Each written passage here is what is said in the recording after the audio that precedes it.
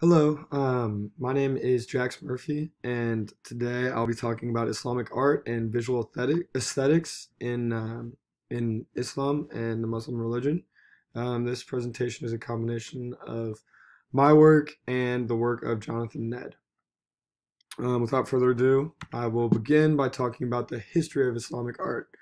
It's really important to talk about the history because um, Islamic art is more of a art form that is influenced by a variety of factors um, rather than just one location or one point in history.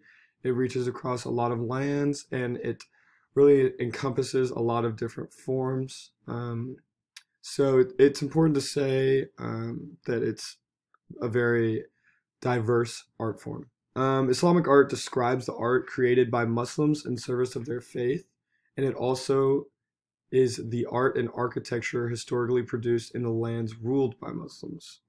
Um, so that means it's not just solely based on religion. Instead, it also has to do with the lands that the Muslim peoples were in. Uh, first examples of Islamic art um, were and are a blend of classical and Iranian decorative themes and motifs because of the Muslim reach in their lands.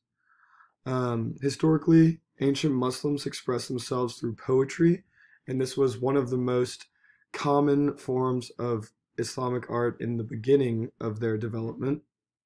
Um, and that came from the textbook. The impact of the Muslim faith and nascent Islamic State gradually created a unique Islamic art with many different impacts and aspects of different lands and different cultures throughout um, the Muslim lands. Um, Islamic art's formative period um, so the beginning is classified with the Umayyad Caliphate from the year 661 AD to 750 AD.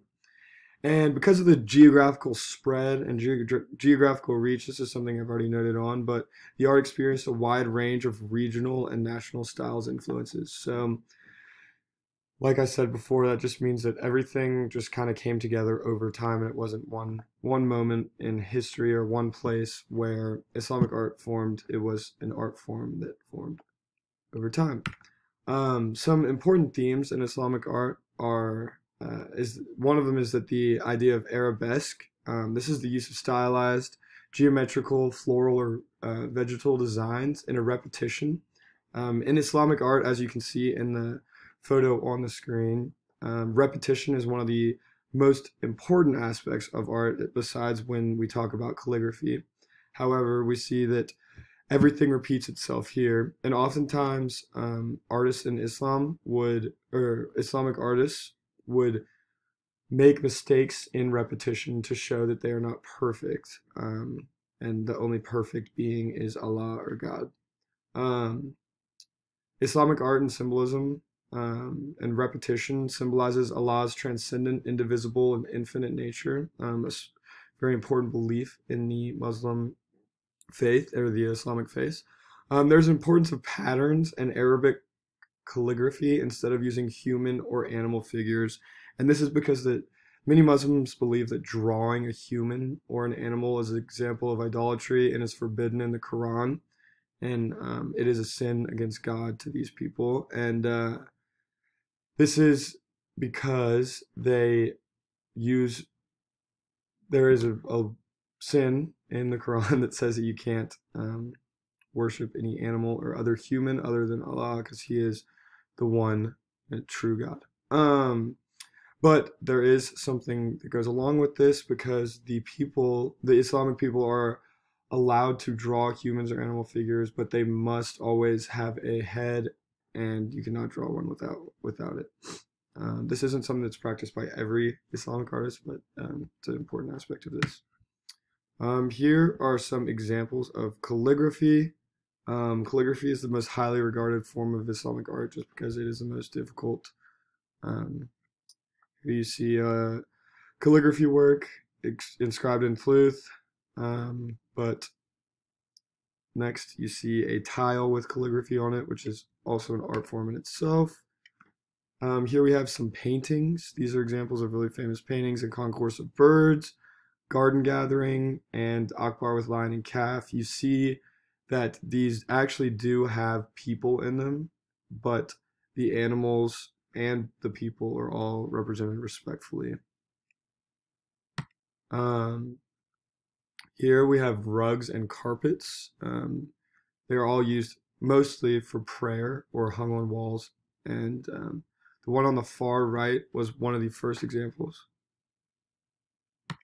Um, Islamic architecture is very unique and it also embodies some of the styles and patterns and repetition that we talked about earlier when we were talking about the themes. Um, as you can see in these mosques, they're huge. Um, the Taj Mahal, the most fam- one of the most famous pieces of Islamic architecture, and then the dome here in Istanbul and the Alhambra in Spain, um, all developed uh, throughout time during during the expansion of Islamic art. And um, yeah, so another art form is ceramics. Um, here you see a variety of bowls and pots and whatnot. Um, yeah. Here is the glass, the stained glass, and just another example of rock crystal. Um, the stained glass window in a mosque in Shiraz, Iran. Uh, very great example of the beauty and repetition also that we see. And here we have a rock crystal ur made from the Fatimid Caliph um, Al Aziz in around year 1000. Um, here I have my URLs for the images I used, and here is the bibliography for the entire presentation. Um, now I will give it on over to Jonathan. Thank you. So today I'm going to be talking about the art and the three empires of Islam. First is the Ottoman Empire, and the impressive longevity combined with an immense territory led to a vital and distinctive art, including plentiful architecture, mass production for tiles and vessels, and most notably iznikware, which is important metalwork and jewelry. The hmm. Ottomans are known for their development of a bright red pigment called iznik red, which reached its height in the 16th century, both in tilework and pottery, and from the 18th century, Ottoman art came under considerable European influence. And here are just like a few pictures of the Ottoman art. So in the Mughal Empire, the Mughal Empire lasted from 1526 all the way until they said technically 1858, and this period is the most notable period for luxury arts of the court and Mughal styles heavily influenced local Hindu. The Mughal miniature started as they began importing Persian artists, but soon local artists were trained into the same style, so they didn't have to import Persian artists anymore. The realistic portraits and images of animals and plants were soon developed in Mughal art beyond what the Persians had achieved.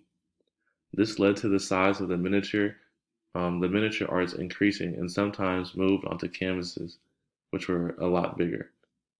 The arts of jewelry and craving the arts of jewelry and the carvings of gems such as jasper, jade, rubies, diamonds, and emeralds are mentioned by the Mughal con- chronicler. There were also fine metal metallurgists and locally produced wootz steel, and Mughals also introduced the bidri technique, in which silver motifs are pressed against a black background. And here are some of the pictures for the, the Mughal art. Um, the Saf- Safavids and the, I can't really say that, I'm sorry, but the Safavids dynasty lasted from 1501 to 1786, and the ceramic arts are marked by the strong influence of Chinese porcelain, which is often executed in blue and white. The art of manuscript illumination also achieved new heights in the seventeenth century. A new type of painting developed, based around the album Muraqqa. These albums were the creations of connoisseurs who bound together sheets containing paintings, drawings, or calligraphy by various artists.